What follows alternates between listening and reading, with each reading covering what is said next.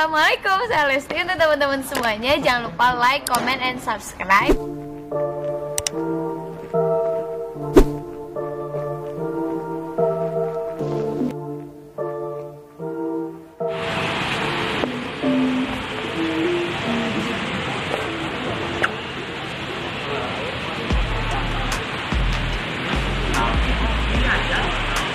Masih dengan kita guys tentunya dengan kabar terbaru terupdate Lesti dan Bilar di hari ini di hari Minggu tanggal 13 Juni.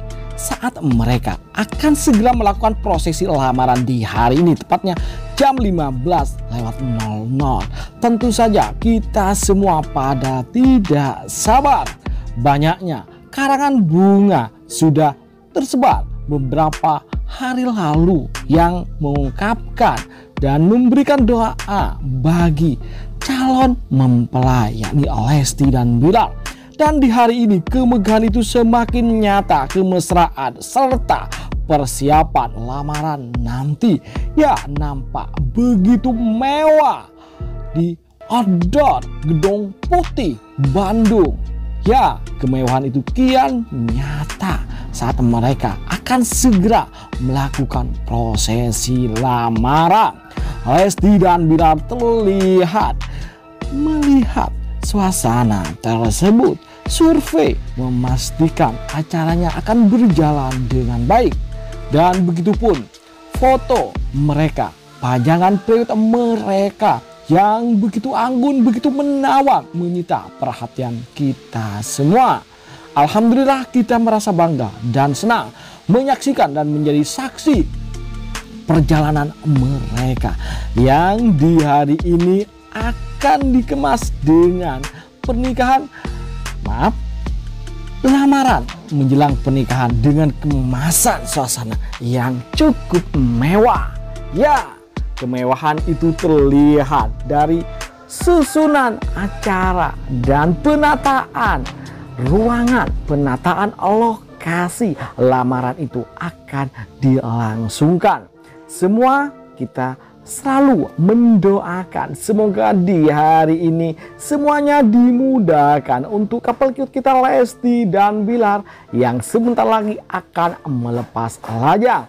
Tentunya selang sebulan acara pernikahan mereka akan segera digelar. Tentu kita sudah pada tahu kebahagiaan Rizky Bilar sudah terpancar sedari kemarin saat ia berangkat bersama keponakannya. Ya ke Bandung. Tentu kebahagiaan itu melengkapi suasana hati kita di hari ini. Yang sudah tahu dan bisa memastikan bahwa Lesti dan Bilar baik-baik saja. Dan Lesti dan Bilar di hari ini akan segera meresmikan hubungannya dengan lamaran. Dan tentu seusai lamaran berselang kurang lebih sebulanan mereka akan segera melepas lajang.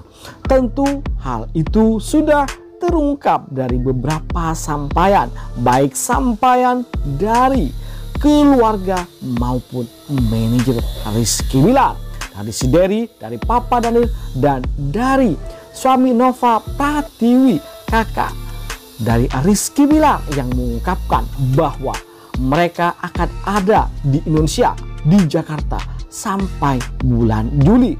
Tentu hal tersebut menunjukkan, memberikan isyarat kepada kita semua bahwa selang sebulanan seperti yang disampaikan oleh Papa Daniel mereka insya Allah akan segera melepas lajang menikah.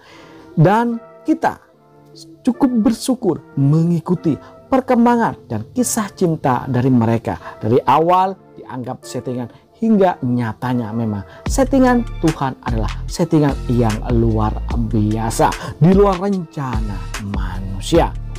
Makanya para markona maupun peramal yang sok-sok tahu dia tidak bisa menolak takdir ilahi, takdir Allah yang maha kuasa, takdir sang maha pencipta yang di atas segala-galanya. Manusia hanyalah biasa, tak bisa menolak kematian maupun rezeki ataupun ajal yang akan menimpa dirinya. Karena dari itu, jangan lupa bagi kalian yang masih ingin stay tune di channel kita ini dan ingin kabar-kabar terbaru hari ini tentang Lesti dan Bilar menjelang lamaran dan saat prosesi lamaran jangan lupa like, comment, dan subscribe tentunya agar kalian tak ketinggalan informasi dan kabar terbaru dari mereka untuk kita semua. Oke, terima kasih telah menonton. Yuk, bye-bye.